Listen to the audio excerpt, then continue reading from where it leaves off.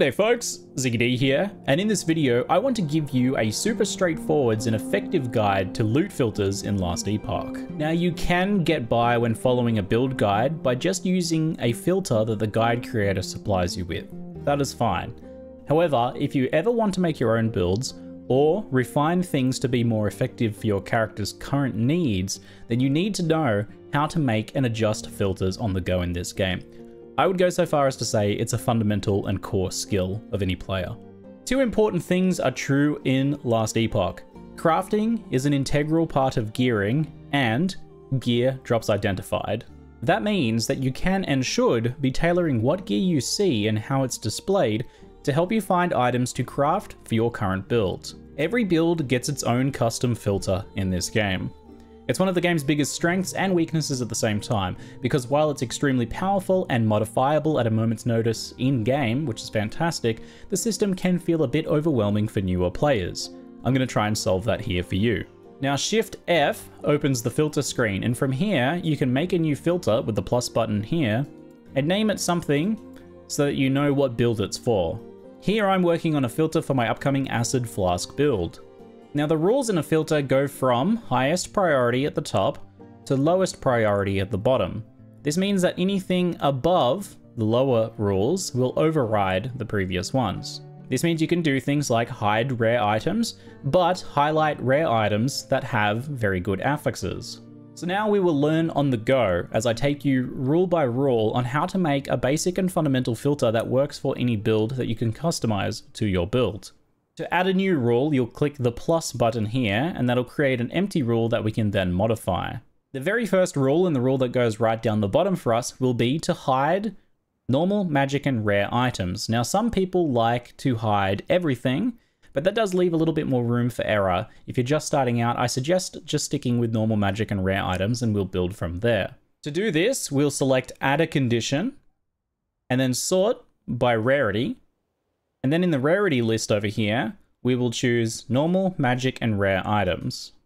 Now there's a very brief moment at the start of the game where you might want to equip some white items like silver rings, so we'll make it so that this only kicks in at levels 5 through 100, so those first four levels do not hide anything. For that, we will check the character level dependency box just here, and we'll type in 5 to 100, which is max level. This is a helpful tool to use if you want rules to only kick in at higher levels, for example. Once we're done with any rule, we'll click the update button down here to lock it in. Note that rules can be enabled and disabled with a checkbox here. Currently it's a little buggy where you have to go in and press update to make that take effect. Hopefully that'll be fixed at launch. Now we don't actually want to hide every rare and magic item. So that's why we'll now build upon this hide rule to add rules that show the things we actually do want to see. Now remember we're going from lowest priority to highest priority, so we'll start with just showing basic affixes that are good for our build. To do that, we'll create a new rule and have it visibility show, and then our condition that we're going to be adding is to sort by affixes. For now, we don't need the advanced options, as we're just starting out. So what we'll do is we'll select affix, and at least one of these affixes on the same item that we'll specify by selecting this list here. Now this is the part that will take maybe a couple of minutes and probably the longest part of creating a filter. What you're going to do is check through every section here and checkbox any affixes that are going to be good for your build. Some things are generally always true, like for example, nearly every build wants vitality, so you're going to go ahead and check that. You're going to go ahead and check any other main scaling attributes that you may want. And if you're stacking a specific attribute, you want to do that too you're playing a melee build or a spellcasting build of a certain type, you may wish to get modifiers for those. This is a throwing build, so we'll go ahead and check all of the throwing affixes. And then you'll want to check any relevant damage types for this specific build. So this one is set up for a cold variant of this build. So we'll check cold and elemental and anything that applies like cold penetration and elemental damage over time. If you're not sure yet which specific things you want, be more liberal with this rule and checkbox more things. Like for example, I'm not sure if I'm going crit or if I'm going damage over time, so I've selected all of them. And then once I decide that I don't want any of these, I will just come back in and update this rule by disabling these ones. So if I decide I'm not going crit, I will drop crit multi and crit chance. That will reduce the clutter of the amount of items that we see. We'll also make sure to go through any relevant defensive actions. Usually all of the health ones are going to be checked. If you're going to be using a shield, you may wish to look at block. And then generally speaking, it's a good idea to checkbox all of the resistances. If you're a non-channeling build, you may not want the channeling one to reduce clutter though. One to keep an eye out for is the bottom potion one here. Ward and ailment cleansing on potion use is quite useful for any build because cleansing ailments is very handy. Another one that's useful for every build is critical strike avoidance, so it's a good idea to check those. Another example of that is movement speed, and often cooldown is used by most builds too. If you're having mana problems, you may want to check mana regeneration. If you're doing a specific ailment build, make sure to come in and select things like your specific ailments that you want, and any other debuffs you want to try and apply to enemies. Then you'll want to come down to your class here in class specific and select your class. Now there's a pretty long list of affixes for each class. If you know what your build is going to be doing, what you can actually use is the search box here. So we know we're going to be playing Acid Flask, so I can type in Acid, and then I will get increased area with Acid Flask and level of Acid Flask, and I can just check both of those. Again, if you're not sure what you want to be using yet, just be more liberal with the checkboxes because you can always come back and remove them later. So I may not know if dodge rating if hit recently is going to be good for me, but it's something that I could get, or health gained on glancing blow, for example. I could get that and then simply drop it later if I find I'm never using it. If you're not very familiar with the options available to you to be able to use the search box, then you'll simply just want to go through the list and just select anything that looks good to you.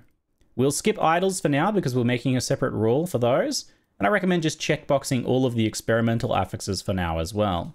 Same deal with personal. These are unusual items that can show up on occasion, and it's a good idea just to show these.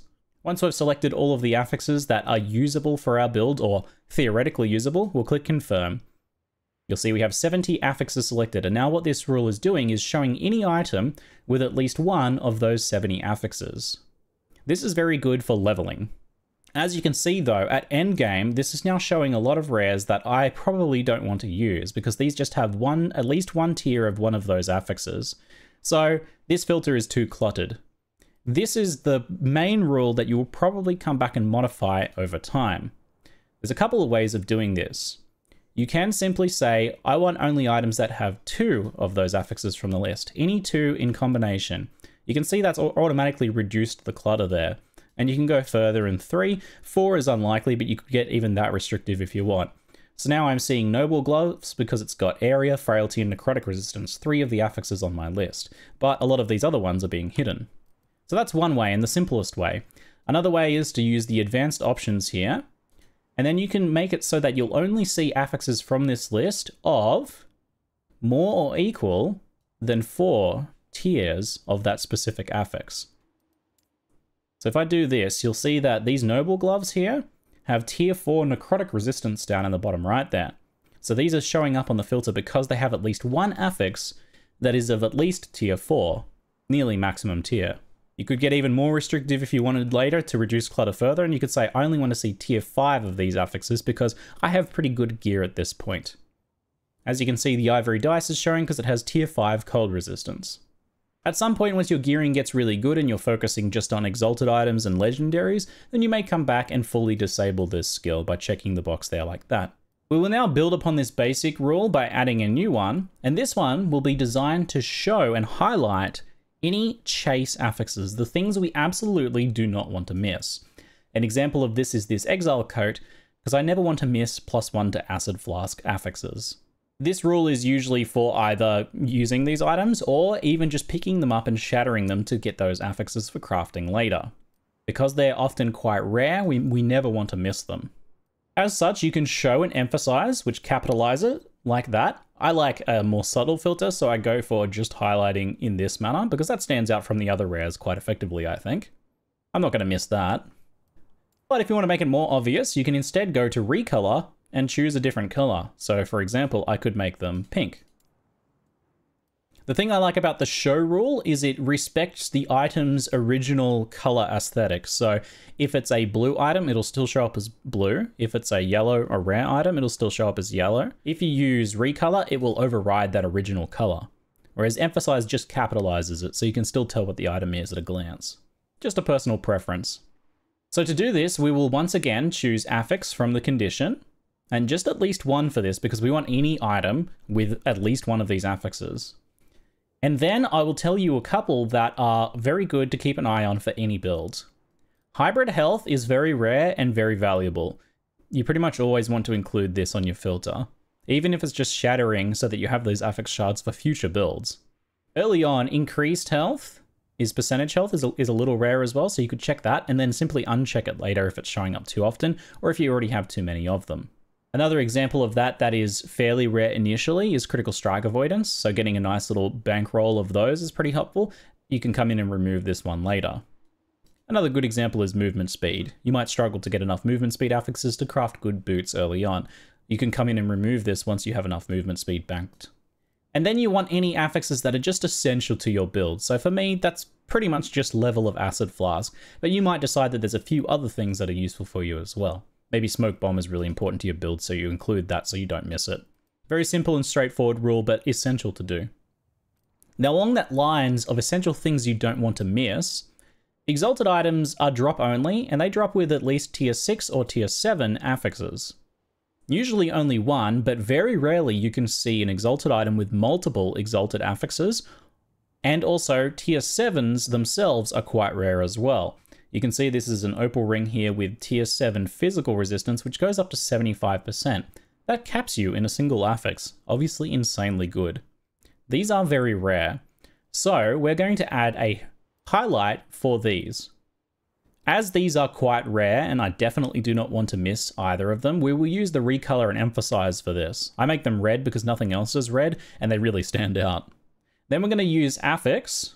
Then we're going to go through the list and select literally everything except idols. Idols don't matter for this. This is because any tier 7 affix could theoretically be useful to some build.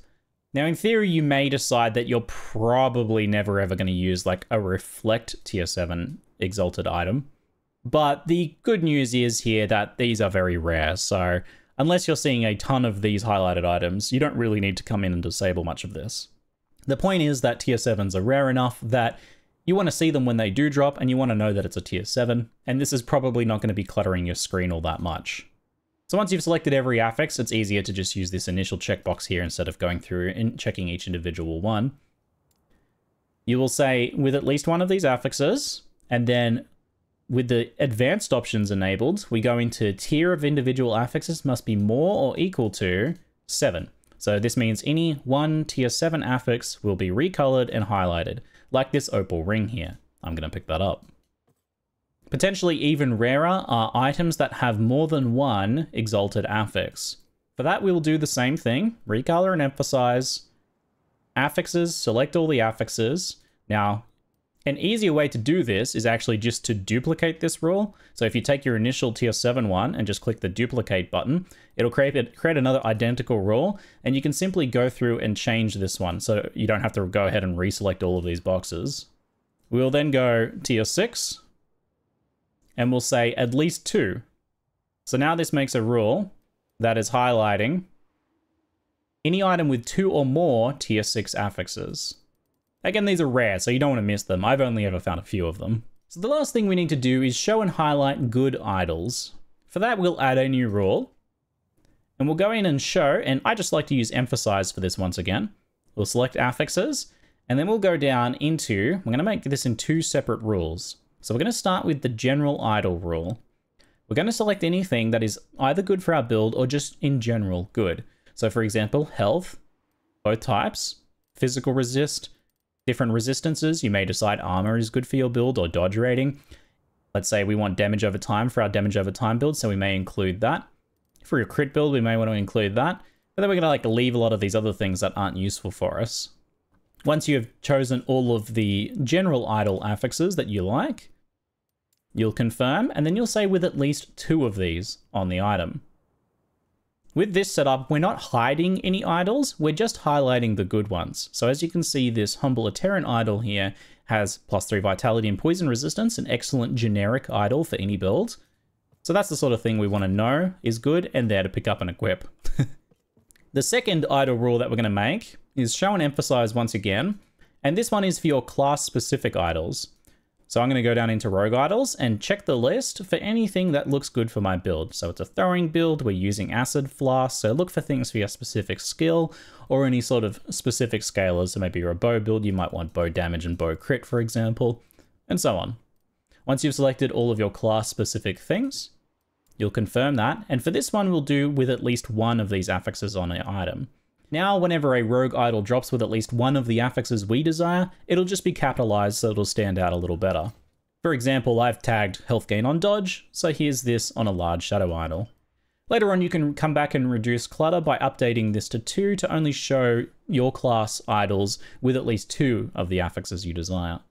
The reason I recommend starting with one is that's just a little bit restrictive and you want some halfway decent idols to begin with. Now, if at some point you decide that idol clutter is a bit too much and you don't really want to see like these random ones with poison that you don't care about, then you can simply add a new rule to hide, and then you can go to item type and hide idols. Once you've hidden all types of idols, you can drag this down to the bottom and you'll notice that our highlight rule still overrides that, right? Just the same as hiding normal magic and rare items. So we'll still see the good ones we've tagged, we just won't see the generic ones that we don't want to see. The only reason I don't suggest doing this from the outset is that you initially want to build up a little bit of a stash tab filled with idols that are good for different builds so you can sort through them. And there you have it folks, a very simple and straightforward and customizable loot filter that will work for any build. But more importantly, you've learned the steps to go through to make it and to be able to customize it. I will include a link to a base filter that you have to go through and edit. It will include these rules with descriptions, but it won't do anything for you until you add the affixes that your build specifically desires. At most, I will select some suggested affixes, like for example, hybrid health. So if you do this properly and learn how to modify on the fly, you're gonna have a much better time with the game, and I hope that this video has helped in that process.